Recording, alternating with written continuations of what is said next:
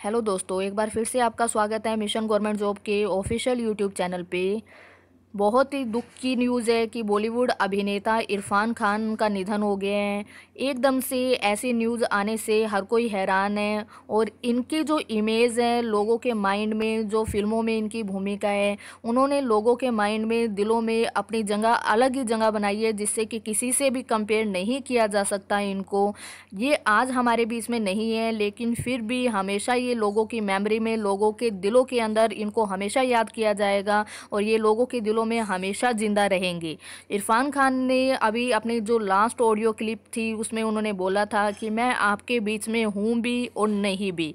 ये उनके फैंस के लिए, हमारे लिए ये उनका लास्ट मैसेज था। जब भी हम इनकी फ़िल्में देखेंगे आगे या जब भी आपने इनकी फ़िल्में देखी है तो हमेशा हमारे माइंड में एक चीज़ ज़रूर आएगी कि ये एक रियल हीरो है। इन, इनकी जो लाइफ थी, वो हमेशा ही अपनी लाइफ एक कॉमन मैन की तरह जीते थे। कभी भी बहुत ज़्यादा शो ऑफ़ आपको नहीं दिखाई दिया होगा जब भी आप इनके बारे में सुनते थे। अचानक से इनका निधन हो गया। कल कल ही इनको हॉस्पिटल में भर्ती कराया गया था और आज इनका निधन हो गया। हालाँकि 2018 में इनको कैंसर हुआ था और कैंसर के चलते ही इनकी तबीयत भी खराब रहती थी जिसके कारण इनका निधन हुआ है। हमारा चैनल एजुकेशन चैनल है। हाँ, बहुत दुख की बात है कि इनका निधन हो गया। इनकी लाइफ से रिलेटेड कुछ एक चीज़ें हैं जो इम्पोर्टेंट है जो हमें पता होना चाहिए। इनका जो सफ़र रहा है वो उन्नीस से लेकर दो हज़ार बीस तक रहा है।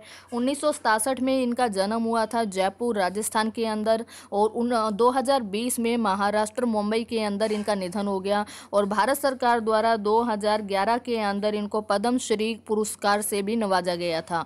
तो ये एक बहुत इंपॉर्टेंट पर्सनैलिटी है जो आज हमारे बीच में नहीं है। बहुत दुख की बात है, लेकिन ये हमारे दिलों में हमेशा हमेशा ज़िंदा रहेंगे और हमेशा ये हमारी मेमोरी में रहेंगे।